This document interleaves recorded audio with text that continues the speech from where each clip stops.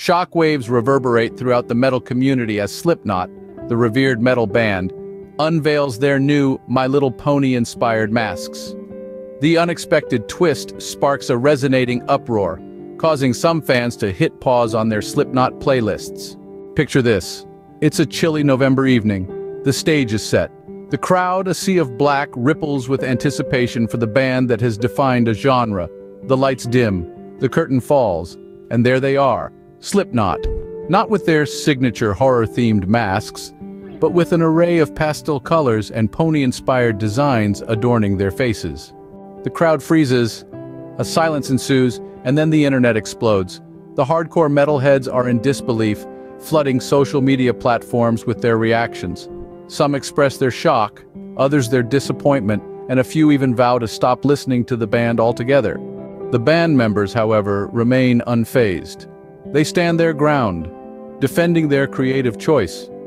They argue that the new masks are a symbol of evolution, a statement that even the darkest of genres can embrace lightness and whimsy.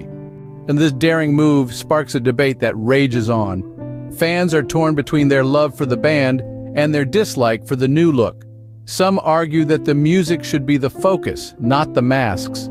Others claim that the masks are an integral part of the Slipknot experience, and this drastic change threatens to dilute the band's essence.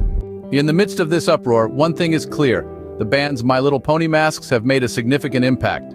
Whether it's a masterstroke of creative genius or a marketing misstep, only time will tell. To wrap things up, this video explored the unexpected unveiling of Slipknot's new My Little Pony-inspired masks and the subsequent fan reactions.